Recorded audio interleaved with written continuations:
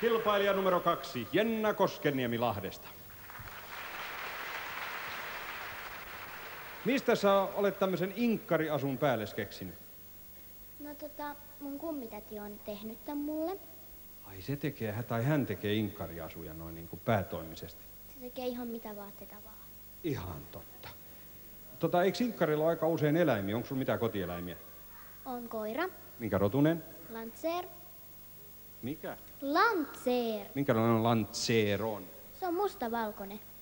Ai se on semmoinen inkkari, kun se pystyy naamioitumaan, että talvella kun se työntää päänsä puskaan, niin se ei erotu lumihangesta sit syksyllä taas toisinpäin.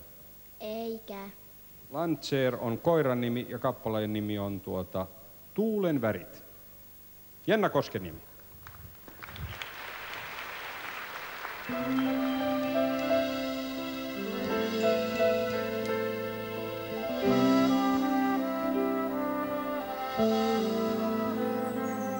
On kaikki sinulle vain omaisuutta.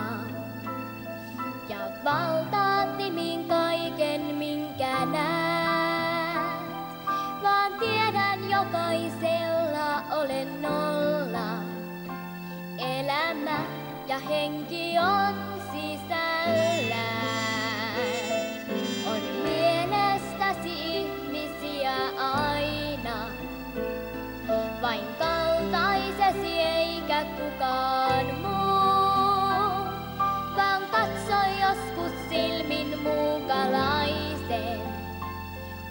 Onni uusi kohdallasi toteutuu.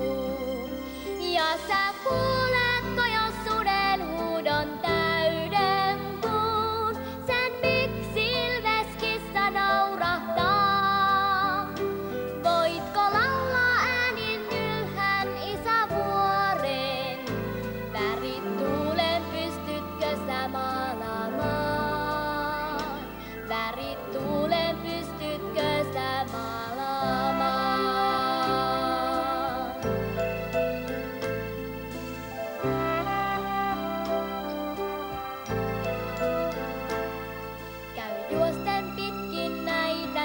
Näitä metsäteitä. Ja maista marjat maan jauringoon. Voi kieriskellä rikkauksissa aina. Huomaat sen, mikä niiden arvo on. On veljiäni sade sekä tuuli.